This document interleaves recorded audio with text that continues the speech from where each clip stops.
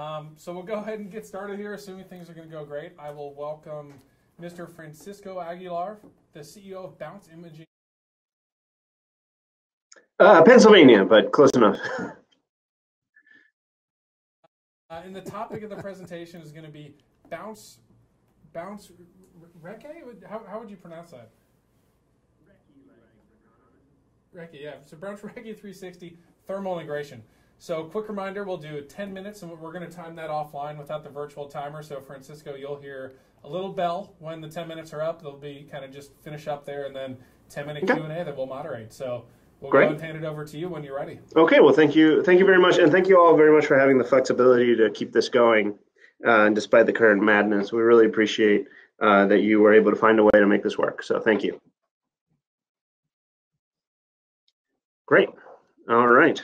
Um, so I guess I will audibly, if you can advance to the, the first slide, please. Okay, so I don't think I need to uh, explain to anyone what these soldiers must be feeling looking down into this, uh, this tunnel system in Afghanistan and the fear and anxiety associated with knowing that to complete your mission, you're going to have to go down into that space. Um, it's something uh, that we can, I think, all empathize with. And I think the two takeaways that I want from uh, that I want you to take away from this this uh, conversation is first that the technology we're going to show you is real in the world technology that is making a difference for people right now. Uh, our civilian and special operations partners telling us saving lives today. Um, the core base technology that we're working from. And second, that we have an opportunity through this X-Tech search process to add capabilities and technologies to vastly expand the range of use cases in which this can be applied, um, and thus to keep that many more um, both civilian and warfighters safer in very complex and difficult environments. So we, we really appreciate the opportunity to be talking to you about this today. So what is it that I'm talking about? Um, next slide, please. Uh, I think Okay, well, I think our slides are a little bit different. That's all right. We will work with it. So yeah, so we what we do, uh, the the reality is that there's technologies out there in the world that should help in these environments. So you might think of robots and drones and all sorts of uh, fancy tech that you tend to see in these uh, in these uh, spaces. The reality is that they don't usually get used and they're not very effective because they're quite expensive. They're very hard to use. They're difficult to carry, and they often have a limited field of view. And so it's very difficult to understand the world when you're looking through through those spaces. So if you can go to the next slide, please. So what we do is this. It's a throwable omnidirectional camera system, something that you can toss into a space and instantly get a 360 degree view for multiple users right on their devices of what's going on so they can have total situational awareness oriented such that they know which way is forward and therefore be much safer in complex and dangerous environments. Next slide, please.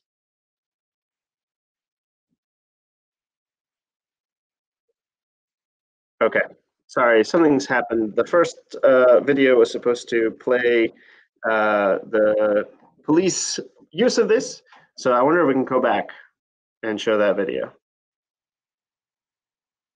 You, you are now getting to see the canine use case, which is when we mount it on a dog, a traditional camera Okay. I'm, I'm rolling with it. So it's good. It's good. What will get pulled up will be uh, how uh, our civilian partners in law enforcement, which was our first market, use this to stay safer as they uh, deal with a whole range of environments. So hopefully that will pop up shortly.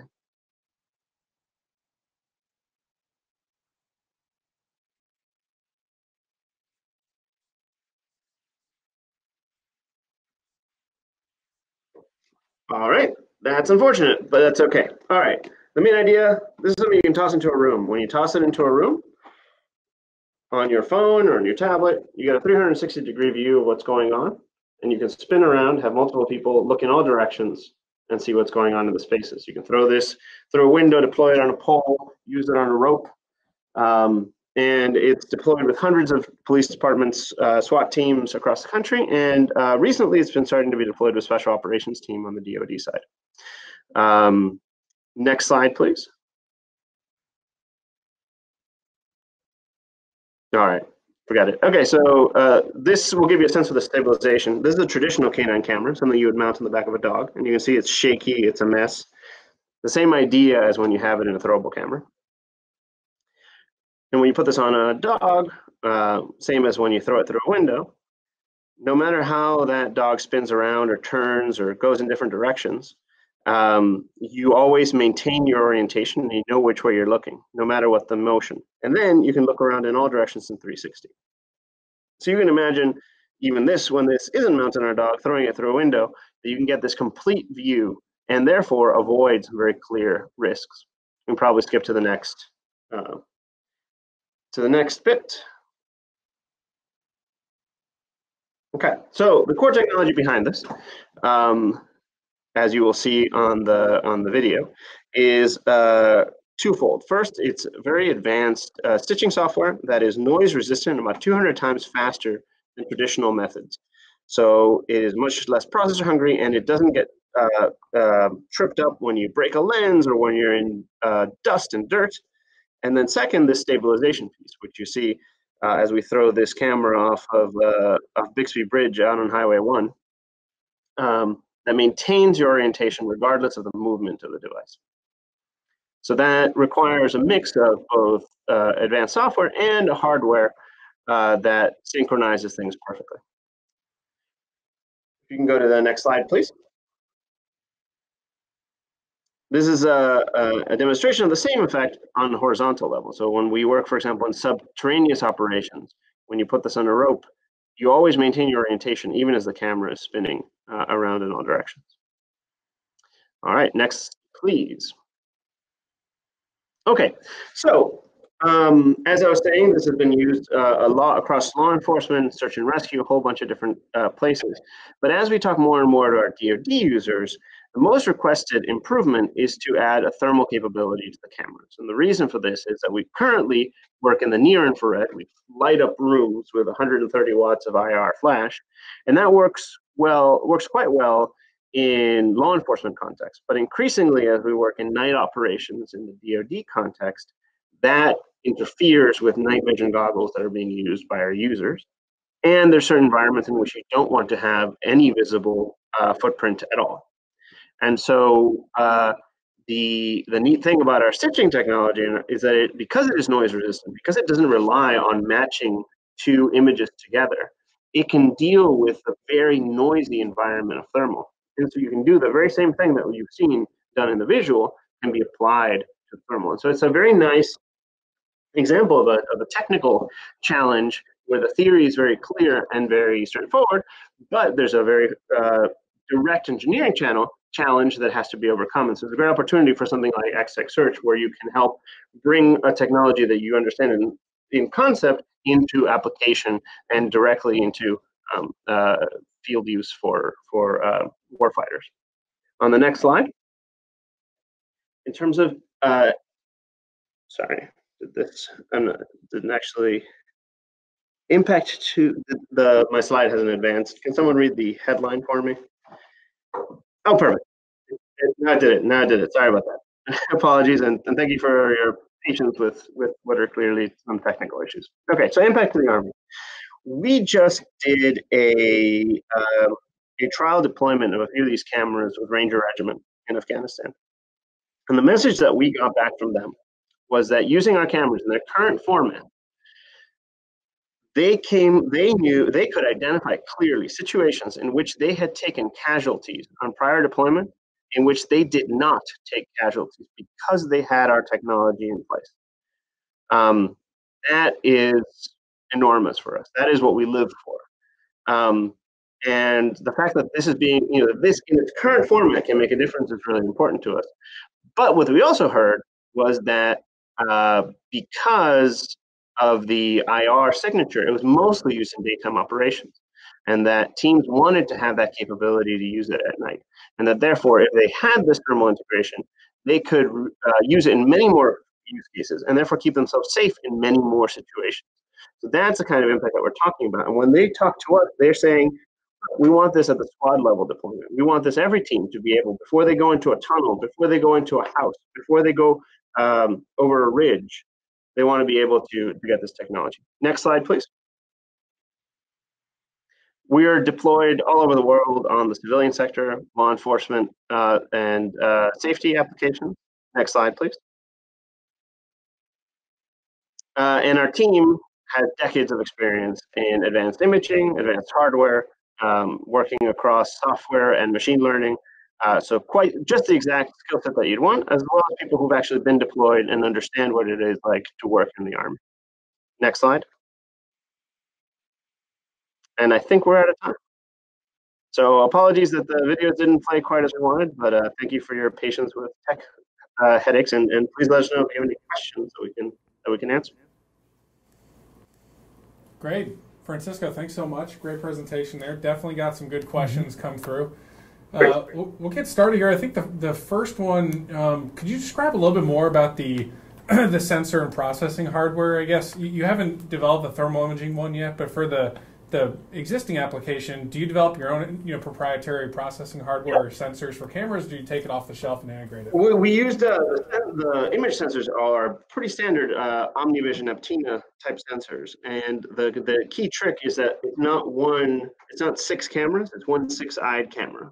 It's basically six sensors multiplexed together uh, at the clock level and tying that to IMUs such that everything is precisely coming in at the same time. And then very rapid stitching that uses um, a very precise calibration in a, in a 3D context to take the pixels from those images and reproject them into a panorama that then you can rotate um, and stitch together very quickly. Um, traditional image image stitching says, here I've got one picture, here about another, let me try to find some common features and join them. That's very computationally intensive and it breaks down when you have things like noise um, that confuse those matches because we don't have those things, because we're so much faster, we can deal not only with very low processors and very complex imaging environments, but we can also work in other spectra, like in thermal. So, is that done in the camera that you throw in, or is that in a processor that's outside? Yeah, exactly. This is done on the camera, right? That's the neat trick of having that efficiency. That you don't need any other infrastructure just this device can give you that and send it back to an ATAK device, send it back to a, a, tablet, send it back to a phone, and in real time with very low latency because of that processing advantage. Exactly right. Yeah. And how much battery power is that going to take? You know, how big are the batteries? Can you swap the batteries out? Uh, we don't currently swap them out, but these things will give you about four or five hours of runtime without the IR flash on, and they'll give you about two and a half with the flash on. We have a smaller version of these things too that gives you about 90 minutes, and that's for special operations users that want to have many, so they can throw them in different environments at once. But the the, so the duration depends a bit on on how many you want to carry, but uh, but it's a pretty good uh, duration because, as uh, to your point, the lower power draw of a more efficient stitching process. Okay, and on that note, then for the IR load for the the infrared imaging versus near infrared, how much mm-hmm. more of a processor load is there required? So the processor load is actually about the same because you are uh, because the key is in the sort of the reprojection of pixels rather than in the uh, matching and processing. If you did traditional processing, it would be immensely more complicated, and immensely more processor intensive. Because you don't have to do that, it's very comparable. At the two device devices, what do those weigh? This thing weighs 1.6 pounds. This thing weighs uh, 0.8 pounds. We've dropped this thing off drones onto rooftops. It's it's pretty light. I have one other question. What's what's the lower limit? How much smaller could you get than that yeah. that smaller form factor there? Say say you wanted like a 20 minute battery, right? Just one single user disposable. Yeah. Uh, how small could you make it? You can keep getting smaller than this. Each time it gets more complicated. This was a, a pretty complicated effort to get down to this size from this size. Um, but yeah, I mean, there's no there's no real theoretical limit to how well there are clearly theoretical limits. There's no uh, practical limit to how small you can you can get this down to say like a golf ball size. But everything is a question of, time, energy, uh, and cost. Right? We're always trading off. Part of what our advantage is that we make these things quite low cost, so that if you throw them into an environment and it's too dangerous to get it back, It's not worth someone risking someone's safety to go and get it. Um, so there's the, the, those are the key trade-offs that keep us at a certain size, but you can always go smaller. It's just a, a technical challenge, and as you said, reduces battery. Cool. Um, n- next question: Tell us a little bit more about the the wireless communications protocols. Is that have you developed any proprietary stuff there? Is it Wi-Fi? Um, anything you can share there on, on how yeah. to be protected? We, we go over three, we, we have three ways to transmit the information at the moment. The first is uh, we create our own wireless uh, Wi-Fi hotspot that can, that is encrypted 256 AES, encrypted the data and the, the channel. Um, we can also go over 4G, so either in civilian context or for uh, DoD users that can create their own 4G networks, we can go over 4G. And then finally, with the support of the Air Force, we're in the process of integrating TrellisWare, so a MANET network. Um, but that integration has allowed us to integrate other systems. So if we wanted to plug into, say, persistent systems or Silvus or any of those, um, it's a much easier path now that we've been able that we've done this work to integrate TrellisWare. So it can basically hook up to your radios currently and to other radio systems in the future. Have you already developed sort of because we actually have a few companies, Next Tech, mm-hmm. Search Three, that are developing like anti-jamming, counter-jamming technology. Is that is that already built in, or is that something you'd have to work on in the future? The main the main advantage to that, and actually we've heard this recently from some of our um, uh, DoD users that want to take us to some demonstrations. The fact that you have multiple channels means that if you're being jammed on one frequency, you can operate on a different frequency. And that's one on a completely different frequency in the same device. And that's what they found as an interesting way to get around jamming. We don't have a specific anti-jamming uh, technology built in, but the fact that you can hop to a totally different spectrum um, means that it's much harder to block you. That's transmitting. Now, what about the viewing device? How big is that? Can you get? Can you view it on a digital notepad? You know? Yep, absolutely. So this is a, a really big iPad, that's kind of the higher limit. Um, then you've got you know something size of a phone that can just plug into that and use that. It's just an app, same as ATAK, um, that just can be strapped to your wrist and something you can look on quickly. Or if you're at a command center, you can look on a big screen um, and see in much more detail. Encryption is the, is the signal encrypted that's being sent? Yeah. It's 256 AES encrypted, and we're also at the request of users, there's no data stored on these devices. So even if the device is compromised, you can't get the, the video feed from it. Got it. I have one more question here. Um, come, the last one here, since we're almost out of time, is around this the stitching. It sounds like that's kind of your secret sauce is how to stitch these things mm-hmm. together with the high processing power one kind of like what's the origin story on that? Does this come out of like some fundamental research, or is this something you stumbled upon working on at nights and weekends? And then, secondly, what's the dual use application for? Have you explored licensing this to existing manufacturers or commercial use cases? Yeah, to start with the second one, um, we are in fact looking at a bunch of different ways to use the same stitching. So you saw the dog camera. That's a, a, clear example of where you can take a different form factor and apply the same thing. But we've been asked to look at it for vehicles, for uh, drones, robots, because indeed, if you've got fixed camera positions, you can take advantage of these uh, processor and stabilization improvements in a bunch of different form factors. And then in terms of the, the source, the, the K, the, the case it came from, we were looking at this. We were looking at uh, the Haiti earthquake and trying to figure out how you could get low cost technology into dangerous environments. And we got outreach from police departments and from um, uh, search and rescue users wanted to say, I need to look inside these spaces and I don't have much and I can't afford the $50,000 camera. And so we started with a need and then we figured out what the te- technology we're going to have to build in order to develop that. And we naively thought we could just take off the shelf stitching processes and do it. It turned out that nothing in existence had the the duration and the low processing requirement to make something that was really effective, usable, cheap, uh, could work in infrared, could work in bad environments. So the need drove the technology rather than sort of technology looking for a use.